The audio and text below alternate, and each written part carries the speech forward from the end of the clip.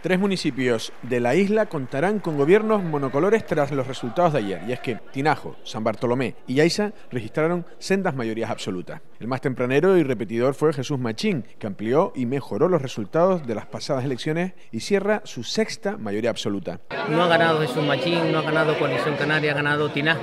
Esto lo que quiere es más compromiso, seguir mejorando cosas que siempre se puede mejorar y también importante no cambiar mi forma de hacer política, estar pendiente para los ciudadanos, trabajar para los ciudadanos, preocuparse las 24 horas, muy importante. El PSOE repetía mayoría absoluta en San Bartolomé, pero con candidato diferente, pues el relevo de Alexis Tejera lo recoge Isidro Pérez, que se mostraba ayer agradecido y emocionado. Primero es agradecer a, a todos los vecinos y vecinas de San Bartolomé el apoyo que nos han dado, a la agrupación socialista, al Partido Socialista de, de Lanzarote y, si me lo permite, a mi mujer, que, mm. que se ha portado muy bien en, esta fecha.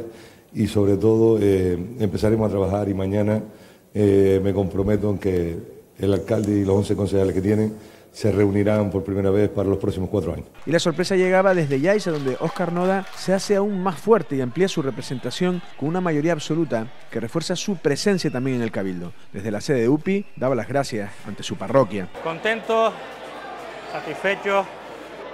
Hemos tenido la mayoría del respaldo del municipio de Yaiza. Esos síntomas de que han visto nuestro trabajo, han visto los resultados, han confiado en nuestro proyecto de Unidos por Yaiza para seguir adelante con un municipio como el de Yaiza. Lo primero, eh, no nos conformamos, queremos más y tenemos proyectos de futuro para seguir mejorando Yaiza para corresponder con la confianza que ha depositado el municipio en nosotros, los 13 pagos del municipio. Quien no solo perdía la mayoría absoluta, sino que no salía ni siquiera ganadora fue Coalición Canaria Anteguise, que veía como su candidata Olivia Duque era superada por un concejal más por el PSOE de Marcos Vergara.